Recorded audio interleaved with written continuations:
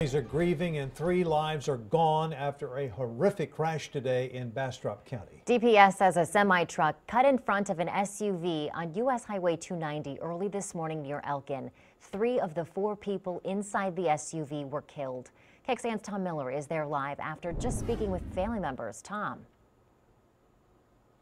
Sydney Robert, those four young men were friends, two cousins, and all together heading off to work just up the road from here on 290 when the unthinkable happened. Heartbreak at the holidays for the tight-knit town of Giddings. The lights dimming for two families, including that of cousins Alexis Hernandez and Clemente Nava. Very respectful young man, hardworking. Um, Alexis, um, he was into soccer.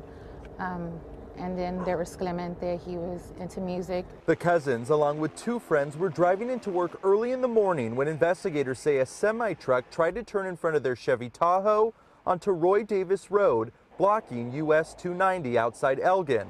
They collided, leaving the cousins and 21 year old driver Jesus Valdez dead. A helicopter flew a fourth man to an Austin hospital. Hernandez and Nava's cousin, Norma Segura, believes the road is too dangerous. There's just accidents every week, not every week and every day. And it's, um, from what I know, that spot, it was like a blind spot where they were approaching. There are plans for the boys who were raised together in Giddings to be buried together, leaving behind a town in shock and despair. They grew up together, now they're leaving. They left together.